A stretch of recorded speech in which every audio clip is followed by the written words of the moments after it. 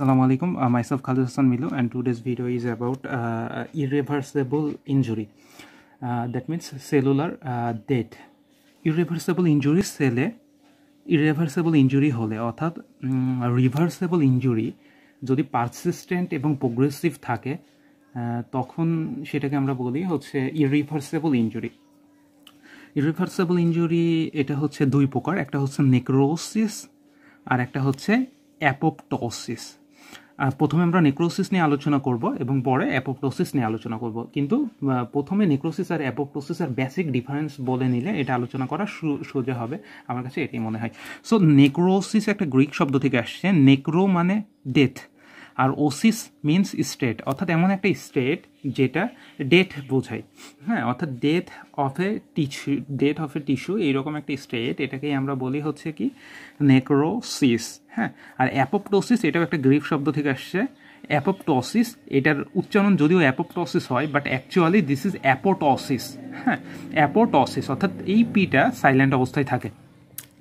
পোটোসিস শব্দের অর্থ হচ্ছে কি? এটাও একটা গ্রিক শব্দ থেকে এসছে যেটা মানে হচ্ছে ফলিং অফ ফলিং অফ আচ্ছা। একটা গাছে, একটা গাছ থেকে কি সব পাতা একেবারেই ফলিং অফ হয়? হয় না। একটা গাছ থেকে যেমন কিছু কিছু পাতা আস্তে আস্তে পড়ে যায় এই কিছু, তেমনি আমাদের বডি থেকে কিছু কিছু সেল প্রতিদিন শেডিং আউট হয়ে যায়। অটোমেটিক্যালি আমাদের বডি থেকে কিছু কিছু সেল ঝরে যায়। এটাকে আমরা বলি অ্যাপোপ্টোসিস আচ্ছা এখন আমরা দেখি যে আমাদের যে ইটা রয়েছে নেক্রোসিস নেক্রোসিসটাকে আমরা বলে থাকি হচ্ছে মার্ডার নেক্রোসিসটাকে আমরা বলে থাকি হচ্ছে মার্ডার। এন এন এর পরেই একটা ওয়ার্ড হচ্ছে এম। সো, নেক্রোসিসকে আমরা বলে থাকি হচ্ছে মার্ডার। আর অ্যাপোপ্টোসিস, অ্যাপোপ্টোসিসকে যদি আমরা এভাবে দেখি, স্যাপোপ্টোসিস, অ্যাপোপ্টোসিস মিনস তাহলে কি? অ্যাপোপ্টোসিস মিনস এসতে সুইসাইড অর্থাৎ নেক্রোসিসটাকে আমরা বলি মার্ডার আর অ্যাপোপ্টোসিসটাকে আমরা বলি সুইসাইড এটাকে মার্ডার কেন বলি? কারণ আমাদের নেক্রোসিসের যে কজ রয়েছে, এটা মেইনলি হচ্ছে trauma infection hypoxia cold extreme heat chemicals inflammation অর্থাৎ এই কারণে যখন সেল মারা যায়, যেহেতু ট্রমা ইনফেকশন এটা আমাদের বডির জন্য অবশ্যই হার্মফুল সো এই কারণে যখন একটা টিস্যুর ডেথ হয়, তখন সেটাকে আমরা বলব হচ্ছে কি, তখন সেটাকে আমরা বলব নেক্রোসিস এই জন্য নেক্রোসিসকে আমরা বলি মার্ডার হ্যাঁ? আর এরপরে হচ্ছে আমাদের যেটা, সেটা হচ্ছে অ্যাপোপ্টোসিস অ্যাপোপ্টোসিসটা সুইসাইড আমরা কেন বলি? কারণ আমাদের কিছু সেল যখন সেলের এমন কন্ডিশন হয় যে ওই সেলটা ড্যামেজ হয়ে গেছে বিয়ন্ড রিপেয়ার লেভেল হ্যাঁ অর্থাৎ রিপেয়ারের চাইতে বেশি ড্যামেজ হয়ে গেছে। ইন দ্যাট কেসেস সেলটাকে আমাদের বডি থেকে বডি থেকে সরিয়ে দেওয়া প্রয়োজন। এই এই জন্য বডি নিজে নিজে, অর্থাৎ আমাদের কিছু জেনেটিক রিপ্রোগ্রামিং অর্থাৎ কন্ট্রোলড বাই জিন এই কন্ট্রোলের মাধ্যমে অটোমেটিক্যালি আমাদের বডির হচ্ছে কি, কিছু সেল শিডিং হয়ে যায়। সেটাকে আমরা বলি অ্যাপোপ্টোসিস এই জন্য অ্যাপোপ্টোসিসকে সুইসাইডের সাথে তুলনা করা হয় এবং নেক্রোসিসকে মার্ডারের সাথে তুলনা করা হয়। নেক্রোসিস আচ্ছা নেক্রোসিস পড়ব। সো নেক্রোসিসের যদি মোস্ট কমন এক্সাম্পল বলা হয়, একটা নেক্রোসিস সেটা হচ্ছে অ্যাবসেস যেমন আমাদের ফোড়া, বয়েল বা হচ্ছে যে কোনো অ্যাপসেস আমাদের বডিতে হয়েই থাকে, সবারই হয়। তো এই যে অ্যাপসেস এই অ্যাপসেসটাই এক one type of necrosis that is liquefactive necrosis পরে আমরা সব ডিটেলস আলোচনা করব। আচ্ছা এরপরে হচ্ছে কি অ্যাপোপ্টোসিস অ্যাপোপ্টোসিসের যদি মোস্ট কমন এক্সাম্পল বলা হয় যে menstrual shedding in case of female menstrual ব্লিডিংয়ের সময় যে ইন্ডোমেট্রিয়ামের সেলগুলো যে প্রতি মাসে শেডিং আউট হয় this is the example of apoptosis হ্যাঁ আচ্ছা সো নেক্রোসিস হচ্ছে মার্ডার আর অ্যাপোপ্টোসিস হচ্ছে সুইসাইড এই দুইটা হচ্ছে বেসিক খুবই বেসিক জিনিস।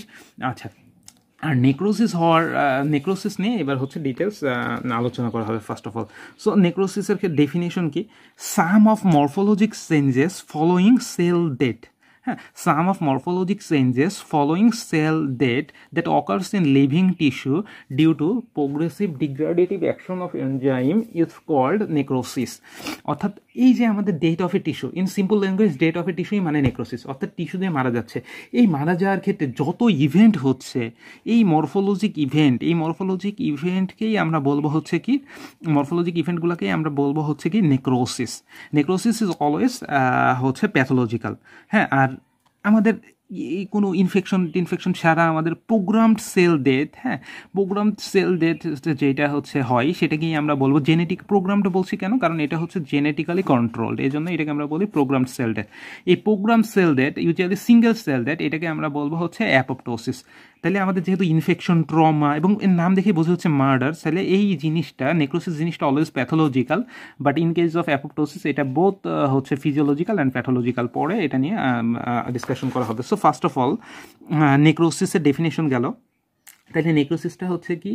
যে একটা টিস্যু যখন ডেথ হয়, এই ডেথ হলে হ্যাঁ অর্থাৎ জিন রেগুলেটেড ডেথ ছাড়া যে কোনো ডেথ অর্থাৎ খারাপভাবে যেগুলো হয় মার্ডার টাইপ এই যে ডেট হচ্ছে, এই ডেটের যে টোটাল মরফোলজিক যে চেঞ্জ হচ্ছে হ্যাঁ এই টোটাল চেঞ্জটাকেই আমরা বলব হচ্ছে কি নেক্রোসিস আচ্ছা নেক্রোসিসের টাইপ আছে। নেক্রোসিসের টাইপ হচ্ছে coagulative necrosis liquefactive necrosis caseous necrosis fat necrosis free fibrinoid necrosis gangrenous necrosis আর গামাটাস নেক্রোসিস এই যে লিকুইফেক্টিভ নেক্রোসিস লিকুইফেক্টিভ নেক্রোসিসের আরেকটা নাম আছে, সেটা হচ্ছে কলিকুয়েটিভ নেক্রোসিস ঠিক আছে?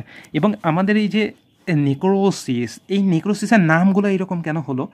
ডিপেন্ডস ডেড টিস্যু অর্থাৎ ডেথ হবার পরে টিস্যুটা কীরকম হয়ে যাবে, ওইটার উপর ভিত্তি করে আমাদের নেক্রোসিসের এগুলার নামকরণ করা হয়েছে। অর্থাৎ যখন একটা ডেথ হয়ে যাওয়ার পরে যদি ডেড টিস্যুতে কোয়াগুলেশন হয়, সেটাকে আমরা বলব কোয়াগুলেটিভ নেক্রোসিস ডেড টিস্যু যদি একদম লিকুইড হয়ে যায়, সেটাকে আমরা বলব লিকুইফেক্টিভ নেক্রোসিস ডেড টিস্যু যদি একদম কেস কেশিয়াস অর্থাৎ চিজ চিজের মতো হয়, সেলে সেটাকে আমরা বলব কেশিয়াস নেক্রোসিস হ্যাঁ? এছাড়া যদি ফিব্রিনয়েড ওয়াইড মানে হচ্ছে সিমিলার টু অর্থাৎ ফিব্রিনের মতো হয়, এটা আমাদের সাধারণত ভেসেলে হয় হাইপারটেনসিভ ভেসেলে সাধারণত হয় ফিব্রিনের মতো, অর্থাৎ ফিব্রিন যেই যে আমাদের জালিকার মতো আছে এরকম জালিকার মতো যখন হয়, তখন থেকে আমরা বলব ফিব্রিনয়েড নেক্রোসিস আর ওয়াইড মানে সিমিলার টু বা লুকিং লাইক যেমন ইপিথিলয়েড ইপিথিলিয়ামের মতো ফিব্রিনয়েড ফিব্রিনের মতো। এরপরে হচ্ছে গ্যাংগ্রিনাস নেক্রোসিস অর্থাৎ গ্যাংগ্রিন হলে তাকে আমরা বলব গ্যাংগ্রিনাস নেক্রোসিস তারপরে হচ্ছে গামাটাস নেক্রোসিস তো কীরকম হচ্ছে? এর উপর ভিত্তি করে নেক্রোসিসের নামকরণ হয়েছে। আচ্ছা এখন আমাদের যে কোয়াগুলেটিভ এবং লিকুইফেক্টিভ নেক্রোসিস আছে, এই নেক্রোসিসের এই দুইটাকে আমরা বলা হয় বেসিক টাইপ অর্থাৎ মেইনলি এই দুইটা নেক্রোসিসই আমাদের বডিতে হয়ে থাকে এবং এইগুলাও হয়, এগুলো হচ্ছে আদার টাইপস ঠিক আছে? আদার টাইপস এগুলো মাঝে মাঝে হয়, অধিকাংশ ক্ষেত্রেই সাধারণত আমরা এই বেসিক টাইপ দুইটা হয়, একটা কোয়াগুলেটিভ নেক্রোসিস আর হচ্ছে লিকুইফেক্টিভ নেক্রোসিস এই জন্য এটাকে বেসিক টাইপ বলা হচ্ছে। এখন আসা যাক coagulative নেক্রোসিসে what is coagulative necrosis coagulative নেক্রোসিসটা হচ্ছে একদম মোস্ট কমন টাইপ যত নেক্রোসিস আছে এর ভিতরে সবচেয়ে কমন টাইপ হচ্ছে coagulative necrosis because dead tissue এটাকে কেন কোয়াগুলেটিভ নেক্রোসিস বলি? কারণ আমাদের এখানে যে টিস্যুটুকু মারা যাবে, এই টিস্যুটুকু হবে ড্রাই হয়ে যাবে, এই টিস্যুটুকু হার্ড হয়ে যাবে এবং হোয়াইট হয়ে যাবে ড্রাই হার্ড এবং হোয়াইট হয়ে যাবে। এই কারণে যেহেতু হার্ড হয়ে যায় হোয়াইট হয়ে যায় যেটা হচ্ছে কোয়াগুলেশনের মতো। ডিমকে সিদ্ধ করলে যখন আমাদের কোয়াগুলেশন হয়, তখন ডিমটা কি হার্ড হয়ে যায় না হোয়াইট হয়ে যায় ড্রাই হয়ে যায়? সো এই রকম যেহেতু হয় এই জন্য এটাকে আমরা বলব হচ্ছে কি কোয়াগুলেটিভ নেক্রোসিস হ্যাঁ? এবং কোয়াগুলেটিভ নেক্রোসিসের মেইন কজ হচ্ছে কি? Lack of blood flow coagulative নেক্রোসিসের main cause হচ্ছে lack of blood flow okay তো কোয়াগুলেটিভ নেক্রোসিস নিয়ে এখন পরে আবার আলোচনা করা যাক। সো কোয়াগুলেটিভ নেক্রোসিসের নাম কেন এরকম হলো? কারণ এখানে যে সেলুলার স্ট্রাকচারগুলোর কোয়াগুলেশন হয়, ঠিক আছে? এখন আর এর কজ হচ্ছে কি? ডিউ টু ইস্কেমিয়া হুম, এখন আমাদের যে ইস্কেমিয়া হয়, ইস্কেমিয়া সাধারণত যদি তিরিশ মিনিট বা এর কম সময় পর্যন্ত হয়, তাহলে আমাদের টিস্যু ডেথ হয় না। কিন্তু এর চাইতে বেশি সময় পর্যন্ত যদি ইস্কেমিয়া হয়, সেক্ষেত্রে আমাদের কি হবে? সেক্ষেত্রে আমাদের ইরিভার্সেবল সেল ইঞ্জুরি হয়ে যাবে। হ্যাঁ তো যখন ইস্কেমিয়া হয়, ইস্কেমিয়া হলে কি হয়? অক্সিজেন এবং নিউট্রিয়েন্ট সাপ্লাই কমে যায়। তখন আমাদের অ্যারোবিক গ্লাইকোলাইসিস হতে পারে না। তখন হয় অ্যানারোবিক গ্লাইকোলাইসিস এবং অ্যানারোবিক গ্লাইকো কোয়াগুলেটিভ এবং অ্যানারোবিক গ্লাইকোলাইসিসের কারণে কি হয়? আমাদের ল্যাকটিক অ্যাসিড ফর্মেশন হয়। অর্থাৎ ল্যাকটিক অ্যাসিডোসিস হয়, যার ফলে আমাদের ইন্টারসেলুলার অ্যাসিডোসিস হয়। ইন্টারসেলুলার অ্যাসিডোসিসের কারণে আমাদের কি হয়? যে আমাদের সেলের ভিতরে যে প্রোটিন রয়েছে, এই ডিনেচারেশন হয় মানে কোয়াগুলেশন হয়। কোয়াগুলেশন অর্থাৎ ডিনেচারেশন এবং coagulation of the structural structural এবং অ্যানজাইমেটিক যে প্রোটিন রয়েছে সেলের ভিতরে, এটা ডিনেচারেশন হয়। এছাড়া আমাদের যে লাইসোজোমাল অ্যানজাইম রয়েছে হ্যাঁ আমাদের লাইসোজোমাল এনজাইম লাইসোজোমাল এনজাইমও তো ওয়ান ধরনের প্রোটিন এই জন্য লাইসোজিয়াম এনজাইমগুলোও হচ্ছে কি ড্রিন অ্যাসারেশন হয়ে যায় দ্যাট মিনস কোয়াগুলেটেড হয়ে যায়, ঠিক আছে? কোয়াগুলেটেড হয়ে যাওয়ার কারণে আমাদের লাইসোজোমাল এনজাইমগুলো হচ্ছে নষ্ট হয়ে যায়। এর ফলে লাইসোজোমাল এনজাইম যে সেলকে অটোফ্যাগি করে, এই অটোফ্যাগি আর হতে পারে না, অর্থাৎ অটোলাইসিস অটোলাইসিস মানে সেলফ লাইসিস অর্থাৎ নিজের সেল নিজের এনজাইম দিয়ে যে লাইসিস করে লাইসোজোমাল এনজাইম দিয়ে, সেটা হতে পারে না। তাইলে আমাদের এখানে কোয়াগুলেটিভ নেক্রোসিস হলো। তাহলে কোয়াগুলেটিভ নেক্রোসিস এবং আমাদের সেল মেমব্রেন আমরা জানি সেল মেমব্রেন হচ্ছে মোস্টলি লিপিড তাহলে মোস্টলি লিপিড এবং যেহেতু প্রোটিন কোয়াগুলেশন হচ্ছে লিপিডের কিছু হচ্ছে না এই জন্য আমাদের সেল মেমব্রেনটা ইনটেক থাকে। ইন কেস অফ কি? কোয়াগুলেটিভ নেক্রোসিস অন্যান্য কোনো নেক্রোসিসে কিন্তু সেল মেমব্রেন বা সেলুলার আর্কিটেকচার সেল বাউন্ডারি যেটা, এটা হচ্ছে ইনটেক্ট থাকে না। শুধুমাত্র কোয়াগুলেটিভ নেক্রোসিসেই ইনটেক থাকে। আচ্ছা তাইলে আমরা এই সেলুলার আর্কিটেকচার এটা হচ্ছে প্রিজার্ভ থাকে ইন কেজ অফ কি? In case of coagulative necrosis coagulative necrosis okay তো কোয়াগুলেটিভ নেক্রোসিস হচ্ছে যেখানে হবে, সেখানে কি যে, এই যে, এটা অনেকগুলো সেল সেলের ভিতরে নিউক্লিয়াস রয়েছে, এই ইন্ট্রাসেলুলার সাবস্টেন্স আছে, যখন এখানে কোয়াগুলেটিভ নেক্রোসিস হবে তাহলে কোয়াগুলেটিভ নেক্রোসিস হলে আলটিমেটলি সেলের ভিতরে সব কিছু নষ্ট হয়ে যাবে, এই যে ভিতরে সাদা সাদার মাধ্যমে এটা বোঝানো হচ্ছে, কিন্তু সেল বাউন্ডারিটা ইনটেক্ট থাকবে। এবং এটাকে যদি আমরা এক্সটার্নালি দেখি তাহলে এক্সটার্নালি দেখলে আমরা হচ্ছে কি দেখব? পেল দেখব। হ্যাঁ পেল দেখব। আচ্ছা। তো সেলুলার এইটা হচ্ছে যদি কোয়াগুলেটিভ নেক্রোসিস নিয়ে এখন যদি আসি, যে এটা মোস্ট কমনলি হয় হচ্ছে আমাদের কি কার্ডিয়াক মাসল দ্যাট ইজ হার্টে মায়োকার্ডিয়াল ইনফ্রাকশনে এছাড়া কিডনিতে হতে পারে স্প্লিনে হতে পারে অ্যাড্রেনাল হতে পারে স্প্লিনিকে যখন স্প্লিনিক ইনফ্রাক্ট হয়, তখন হচ্ছে এখানে হচ্ছে আমাদের কোয়াগুলেটিভ নেক্রোসিস হয়। ঠিক আছে? এখন কোয়াগুলেটিভ নেক্রোসিস নিয়ে জিস্ট সামারিতে যদি আমরা আসি, তাহলে আমরা কতটুকু মনে রাখতে হবে? কোয়াগুলেটিভ নেক্রোসিস হিয়া কোয়া হিয়াগুলেটিভ কোয়াগুলেটিভ। যদি আমরা কোয়াগুলেটিভকে বেশ কয়েকবার পড়ি, তাহলেই মনে থেকে যাবে। কোয়াগুলেটিভ হিয়াগুলেটিভ কোয়াগুলেটিভ হিয়াগুলেটিভ সো হিয়াগুলেটিভ অর্থাৎ কোয়াগুলেটিভ নিয়ে আমাদের যেটা মনে রাখতে হবে, এটা মেইনলি হয় হচ্ছে হার্টে এইসে হচ্ছে হার্ট আর আইতে হচ্ছে মেইনলি এটা কিসের কারণে হয়? ডিউ টু ইস্কেমিয়ার কারণে হয়, অর্থাৎ হাইপোক্সিয়ার কারণে হয় মেইনলি এছাড়া আমাদের এখানে কি হয়? এতে হচ্ছে অ্যাসিডোসিস হয়, যেহেতু আমাদের ইন্ট্রাসেলুলার অ্যাসিডোসিসের কারণে আমাদের হচ্ছে কি কোয়াগুলেশন হয়, ঠিক আছে? তাহলে this is this is coagulative necrosis এবং কোয়াগুলেটিভের যে সি এবং এ আছে সিতে সেলুলার এটা আর্কিটেকচার অর্থাৎ in case of coagulative necrosis cellular architecture intact থাকে। That means cellular architecture okay থাকে। হ্যাঁ আচ্ছা এরপরে আমরা আসব হচ্ছে কি liquefactive necrosis so this is the liquefactive necrosis liquefactive নেক্রোসিসের নাম প্রথমে কেন লিকুইফেক্টিভ নেক্রোসিস কারণ আমাদের এখানে যে ডেড টিস্যুটা আছে, অর্থাৎ যেই টিস্যুটা মারা যাচ্ছে, ওই টিস্যুটা লিকুইড হয়ে যাবে হ্যাঁ? সফটেনিং অফ নেক্রোটিক টিস্যু এই জন্য এটাকে আমরা বলব লিকুইফেক্টিভ নেক্রোসিস লিকুইফেক্টিভ নেক্রোসিসের আরেকটা নাম আছে কলিকুয়েটিভ নেক্রোসিস বোথ সেম নাম হ্যাঁ? সো লিকুইফেক্টিভ নেক্রোসিস এটা হচ্ছে লিকুইড হয়ে যাবে, অর্থাৎ সফটেনিং অফ নেক্রোটিক টিস্যু হবে। এবং লিকুইফেক্টিভ নেক্রোসিসের মেইন কজ হচ্ছে infection bacterial fungal viral and other infection main cause হচ্ছে ইনফেকশনের কারণেই আমাদের হচ্ছে কি লিকুইফেক্টিভ নেক্রোসিস হয়। এবং আমরা প্রথমে যে নেক্রোসিসের উদাহরণ বলেছিলাম অ্যাপসেস এই অ্যাপসেসটাই হচ্ছে লিকুইফেক্টিভ নেক্রোসিস কারণ আমরা অ্যাপসেসের ভিতরে যে পুস দেখি দ্যাট মিনস ডেড নিউট্রোফিল এটা হচ্ছে কি, একদম লিকুইড ফর্মে থাকে না। তো এইটাই হচ্ছে এক ধরনের নেক্রোসিস অহরহ আমাদের বডিতে ঘটতেছে। আচ্ছা এর মেকানিজম কি? মেকানিজম হচ্ছে যখন কোনো ইনফেকশন হয়, তখন আমাদের সেল মারা যায়। সেল মারা গেলে আমাদের নিজের সেল যখন মারা যায়, তখন কিছু অ্যানজাইম রিলিজ করে। যেমন লাইসোজোমাল অ্যানজাইম প্রোটিয়েজ লাইপেজ হ্যাঁ এইগুলো অ্যানজাইম করে পারঅক্সিডেজ এই এনজাইম ফ্রম দ্য সেল, এটা কিছু রিলিজ হয় এবং কি হয় যে এনজাইম ফ্রম ইমিউন সেলস যেমন নিউট্রোফিলস আছে, তারপরে আমাদের ম্যাক্রোফেজ আছে, এইগুলো হচ্ছে রিলিজ হয়।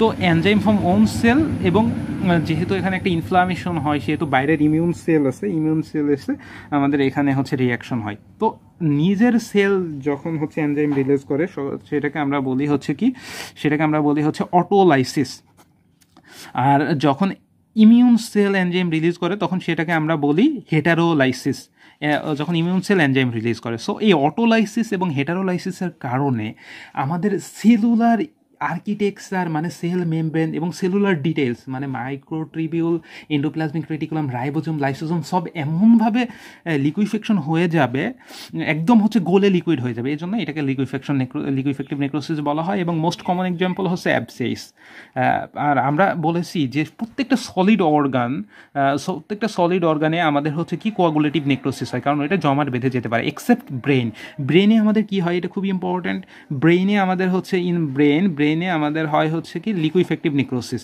বিকজ ব্রেনে আমরা জানি প্রোটিন কম এবং মোস্টলি হচ্ছে ব্রেন হচ্ছে লিপিড এই যেহেতু লিপিড থাকে এই জন্য এখানে কোয়াগুলেশন হতে পারে না। যেহেতু কোয়াগুলেশন প্রোটিনের হয় so brain abscess in case of brain abscess it is liquefactive necrosis হ্যাঁ এখন লিকুইফেক্টিভ যেমন হিয়াগুলেটিভ coagulative this is the summarization of coagulative necrosis এখন লিকুইফেক্টিভ নেক্রোসিস ইজিলি কীভাবে রিমেম্বার করা যাবে? লিকুই কুই কুইতে হচ্ছে কুইন অর্থাৎ লিকুইফেক্টিভ নেক্রোসিস ওয়ান ধরনের কুইন। আর কুইন যারা কুইনের কি আছে? অটোমেটিক হেটার আছে। অর্থাৎ কুইনকে যাদের ভালো লাগে না, তারা অটোমেটিক হেট করে। So queen auto hater that means কুইনের ইএনতে আমরা মনে রাখব ইনফেকশন অর্থাৎ লিকুইফেক্টিভ নেক্রোসিস হবে ইনফেকশনের কারণে। এবং ইনফেকশন হলে কি হবে? অ্যানজাইম ডিগ্রাডেশন হবে। ইতে অ্যানজাইম ডিগ্রাডেশন হবে। অ্যানজাইম ডিগ্রেডেশনের ফলে অটো হেটারে কি হবে? অটোতে অটোলাইসিস হবে। হেটারে হেটারোলাইসিস হবে। অর্থাৎ অটোলাইসিস এবং হেটারোলাইসিসের মাধ্যমে একদম সেলুলার স্ট্রাকচার সেলুলার ডিটেলস সব কিছু ভিতরে যা আছে সেলের ভিতরে সব কিছু হচ্ছে একদম হচ্ছে নেক্রোসিস হয়ে যাবে, একদম লিকুইড হবে। কোনো সেলুলার আর্কিটেকচার থাকবে না এবং this is the liquefactive necrosis আচ্ছা এরপরে যেটা, সেটা হচ্ছে কি ক্যাশিয়াস নেক্রোসিস ক্যাশিয়াস শব্দটা আসছে চিজ থেকে হ্যাঁ? চিজ হচ্ছে soft greyish white and cheesy অর্থাৎ আমরা যদি ক্যাশিয়াস নেক্রোসিসে যে টিস্যুটা ডেথ হয়ে যাবে, ডেথ, ওই ডেড টিস্যুটাকে যদি আমরা দেখি, তাহলে এখানে আমরা দেখব যে soft, greyish, white, cheesy appearance হ্যাঁ for this this is the caseous necrosis হ্যাঁ এবং এই সিজ লাইক অ্যাপিয়ারেন্স কেন হয়? কারণ আমরা জানি মাইক্রোব্যাকটেরিয়াম টিউবারকুলোসিসে প্রচুর পরিমাণে লাইপোপলিস্যাকারাইড থাকে। এবং এই লাইপোপলিস্যাকারাইডের কারণেই হচ্ছে হচ্ছে আমাদের কি হয়? এই চিজ ফর্মেশন হয়। আর চিজ হচ্ছে পনির। যেমন দুধকে জমাট বাঁধালে হয় সানা। সানাকে যদি আরও কন্ডেনসেশন করি, তখন সেটাকে আমরা বলব চিজ হ্যাঁ এই চিজ হওয়ার কারণেই ক্যাজিয়েশন মানেই চিজ চিজের মতো দেখতে লাগে, এই জন্য এটার নাম হচ্ছে ক্যাজিয়েশন নেক্রোসিস এবং ক্যাজিয়েশন নেক্রোসিসে কোয়াগুলেটিভ এবং লিকুইফেক্টিভ বোট টাইপের কম্বিনেশন হয়। এবং মোস্ট কমনলি টিউবারকুলোসিস এছাড়া আমাদের আরও কি আছে? ব্রুসেলোসিসেও আমাদের হচ্ছে কি হয়? কেজেশন নেক্রোসিস হয়। আচ্ছা এরপরে ফ্যাট নেক্রোসিস এখানে প্রত্যেকটার ক্ষেত্রে আমরা জানছি যে যে রকম দেখতে লাগছে ওই রকম। কিন্তু ফ্যাট নেক্রোসিসের ক্ষেত্রে এক্সপেকটেশন এক্সেপ্টেশন কারণ এখানে ফ্যাটি টিস্যু নেক্রোসিস হয়। এখানে কি হয়? ফ্যাটি টিস্যু নেক্রোসিস হয়। এই ফ্যাটি টিস্যু নেক্রোসিস হওয়ার কারণে আমাদের হচ্ছে এটাকে আমরা কি বলি? এটাকে আমরা বলি ফ্যাট নেক্রোসিস এবং ফ্যাটি এই শব্দটার দ্বারা আমরা টাইপ মনে রাখব ফ্যাটি টিতে ট্রোমাটিক এবং ইতে অ্যানজাইমেটিক তাহলে টু টাইপ একটা ট্রোমাটিক ফ্যাট নেক্রোসিস আর একটা হচ্ছে অ্যানজাইমেটিক ফ্যাট নেক্রোসিস ট্রোমাটিক অর্থাৎ কোনো ফ্যাটি টিস্যু ফ্যাটি টিস্যুতে যদি ট্রোমা অর্থাৎ কোনো আঘাত লাগে, তাহলে কী হবে ফ্যাট নেক্রোসিস হবে। কীভাবে? যে ফ্যাটি টিস্যুতে আঘাত লেগেছে ফ্যাট সেল রাপচার হয়ে গিয়েছে। তখন রিলিজ অফ ফ্যাট হবে। এবং এই ফ্যাটটাকে যেহেতু foreign particle macrophage neutrophil engulfment করবে অ্যাকোট ইনফ্লামেশন হবে, এবং এইটা পরবর্তীতে হিলিং হবে কীভাবে? ফাইব্রাস টিস্যু অর্গানাইজেশন হবে, এবং হচ্ছে ডিস্ট্রফিক ক্যালসিফিকেশনের মাধ্যমে হিলিং হবে। So this is the fat necrosis আচ্ছা এরপরে যেটা, সেটা হচ্ছে enzymatic fat necrosis enzymatic fat necrosis সাধারণত দেখা যায় acute প্যানক্রিয়াটাইটিসে। So this is the pancreas pancreatic duct এখানে প্যানক্রিয়াটিক অ্যাসাইনাই আসছে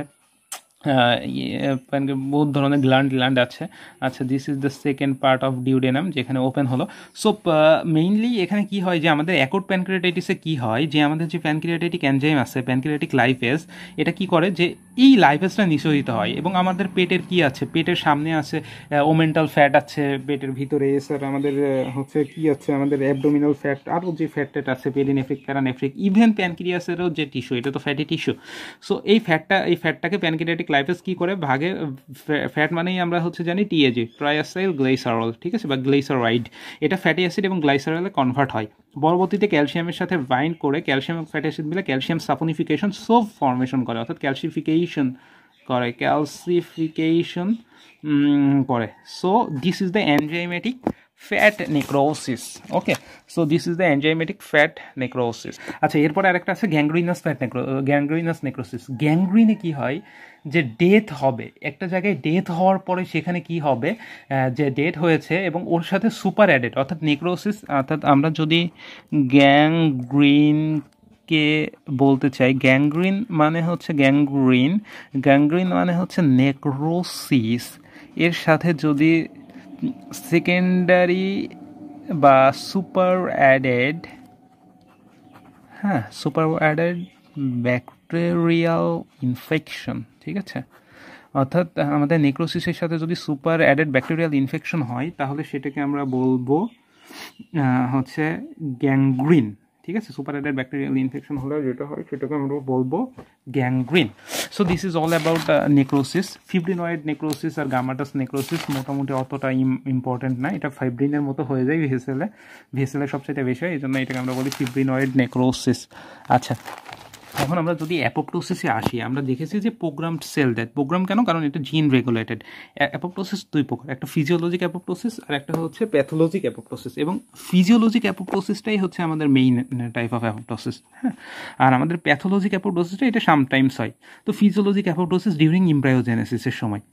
আমরা জানি যে ইমব্রায়োজেনেসিসের সময় আমাদের যতগুলো ভিসেরা ছিল, ভিসেরাগুলো কিন্তু সলিড অর্গান তো এইখানে অ্যাপোপ্টোসিস হওয়ার মাধ্যমে আমাদের কি হয় যে অ্যাপোপ্টোসিস হওয়ার মাধ্যমে আমাদের এখানে হয় হলো অর্গানের ভিতরে লুমেন তৈরি হয়।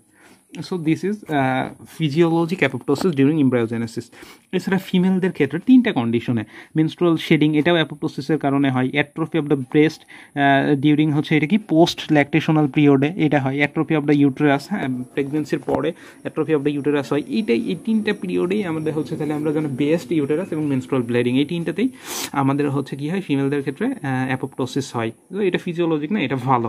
কারণ ইউটেরাসটা প্রেগনেন্সির পরে অনেক বড় হয়ে যায়, আস্তে আস্তে ছোটো না হয়ে গেলে তো সমস্যা।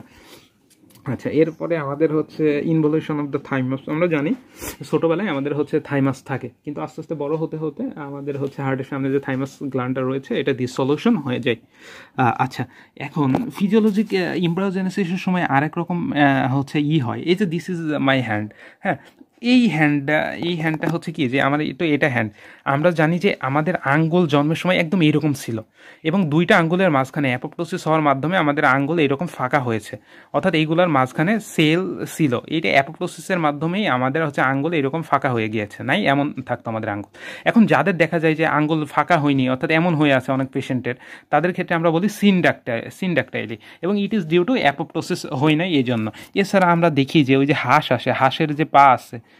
ঠিক আছে? This is the leg of the হাঁস। হাঁসের লেগের ভিতরে এই যে মাঝখানে হচ্ছে অ্যাপোপ্টোটিক এইগুলা হচ্ছে যে জোড়া লেগে আছে, এদের কেন জোড়া লেগে আছে? কারণ ওখানে প্রপার অ্যাপোপ্টোসিস হয় নাই।